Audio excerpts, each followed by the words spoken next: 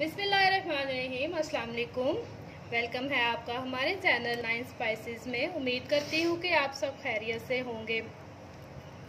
तो आज हम आपके लिए लेके आए हैं एक बहुत ही चटपटी सी, मज़ेदार, लजीज रेसिपी जो तैयार करने जा रहे हैं।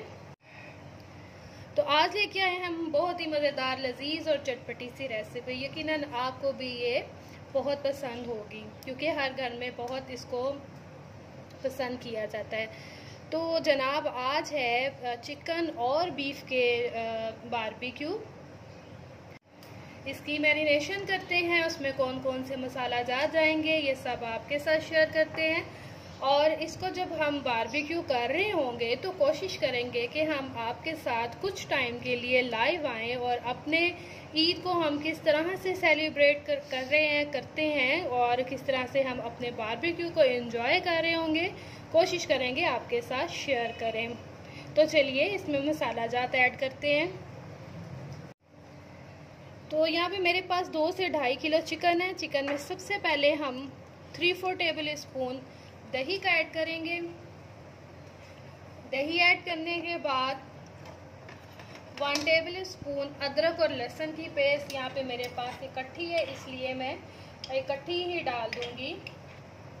अदरक और लहसुन की पेस्ट वन टेबल स्पून जाएगी। इसके साथ वन टेबल स्पून जाएगी चिली चिली आप चाहे तो इसको पेस्ट की सूरत में इस्तेमाल कर लें या फिर इसको चॉप कर लें। यहाँ पे मेरे पास चॉप की हुई है। तो एक टेबल स्पून इसकी ऐड कर दी है। अदरक, लहसुन की पेस्ट ग्रीन चिली और दही हमने इसमें ऐड कर दी। अब आते हैं मसाला जात की तरफ़। वन टेबल स्पून नमक डालेंगे। बिस्मिल्लाह वन टेबल स्पून भर इसके साथ red chilli one tablespoon भर के नमक का ऐड किया है। वन टीस्पून इसमें चिली पाउडर हमने डाल दिया है। हाफ़ टी स्पून इसमें। हाफ़ से भी कम हल्दी रखिएगा। हाफ़ टी स्पून हल्दी इसमें डाल दी है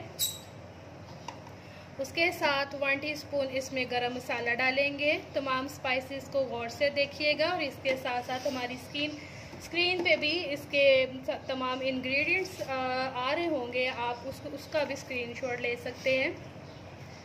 वन टीस्पून भर के ज़ीरा डाल दें।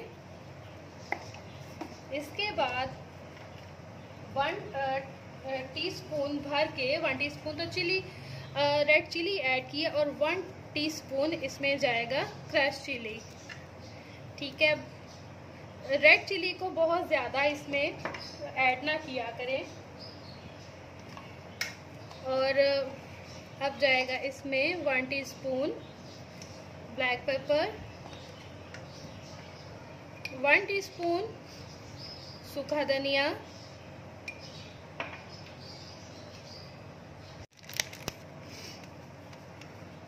एक टेबल स्पून भरी हुई चाट मसाला की इसमें ऐड कीजिएगा। तो स्पाइसेस और जो हमारे दूसरे इंग्रेडिएंट थे, अदरक, लहसन, हरी मिर्चों की पेस्ट दही, ये सब हम इसमें ऐड कर चुके हैं। अब इसमें थोड़ा सा ऐड करेंगे इसकी खटास के लिए, इसको चटपटा बनाने के लिए, सिरका और लेमन इसमें टू टेबल स्पून सिरका और टू टेबल स्पून के करीब हम लेमन का जूस ऐड कर देंगे। अब इसमें लीमू डालते हैं। दो टेबल स्पून नींबू का ऐड करना है। अगर वैसे आप इसको डालना चाहे तो चार मुनासिब साइज़ के, बड़े साइज़ के लीमू इसमें डलेंगे। चिकन बारबेक्यू में तमाम चीज़ें ऐड हो गई हैं। अब बारी है इसको मिक्स करने की। मैंने हाथ पे ग्लव पहन लिया है क्योंकि स्पाइसेस की वजह से हाथ में जलन हो सकती है। अगर आपके पास ग्लव नहीं है तो आप अपने हाथ पे कुकिंग ऑयल को अच्छे तरीके से लगा लिया करें। उसके लगाने से हाथों पे किसी किस्म के कोई भी एलर्जी मसाला नहीं लगता तो हाथ सेफ़ रहते हैं।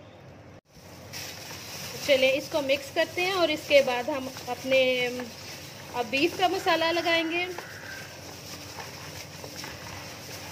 उम्मीद करती हूँ कि रेसिपी आपको बहुत पसंद आएगी। बड़ी टेस्टी बड़ा ही टेस्टी बार बारबेक्यू बनता है। फैमिली में सबको बहुत पसंद आता है। आप भी इस तरीके को ज़रूर आजमाइएगा और हमें कमेंट बॉक्स में बताइएगा कि आपको ये रेसिपी कैसी लगी। तो अब बारी है बीफ को मैरिनेट करने की।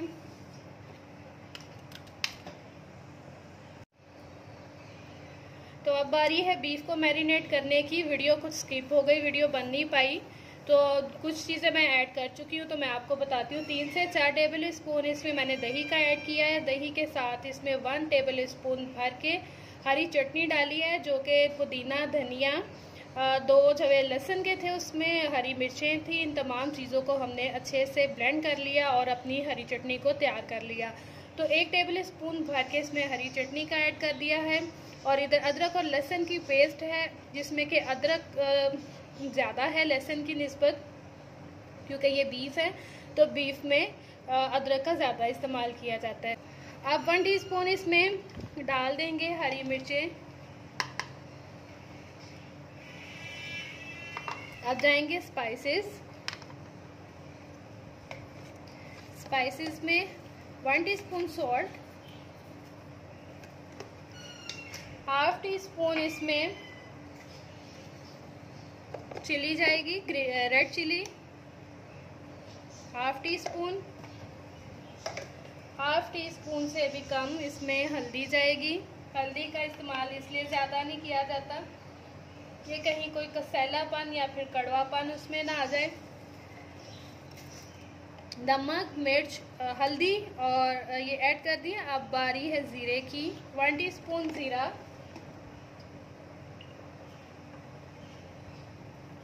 इसी तरह से दरा मिर्च, गरम मसाला, ये तमाम इंग्रेडिएंट्स स्क्रीन पे लिखे आ रहे होंगे। आप उनका भी स्क्रीनशॉट ले सकते हैं।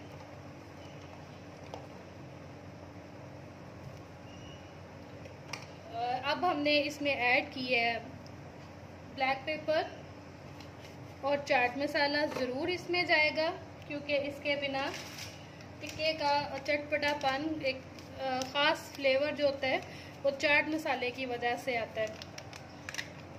तो एक टेबल स्पून भर के इसमें चाट मसाले की भी ऐड कर दी है। अब सबसे इसका इम्पोर्टेंट इंग्रेडिएंट जो कि इसके बिना हमारे टिक्के नहीं गलेंगे। वो है मीट टेंडराइज़र आपके पास फ्रेश पपाया पेस्ट है, आप उसको भी यूज़ कर सकते हैं। सॉरी उसके अलावा कचरी पाउडर बाज़ार से मिलता है, वो भी यूज़ हो सकता है। और मीट टेंडराइज़र के नाम से भी मार्केट में कुछ चीज़ें आई हुई हैं। बेसिकली वो भी कचरी पाउडर ही है। तो मेरे पास यहाँ पे मीट टेंडराइज़र है, मैं उसको ऐड कर रही हूँ। इसका इस्तेमाल भी बड़े ध्यान से किया करें, क्योंकि इसको भी ज़्यादा ऐड करने से गोश्त कड़वा हो जाता है। तो मैं यहाँ पे वन टेबल स्पून डाल दूँगी। एक, डेढ़ किलो गोश्त है तकरीबन। उसमें वन टेबल स्पून काफ़ी रहेगा। अगर इससे ज़्यादा डालेंगे तो गोश्त का टेस्ट कड़वा हो सकता है।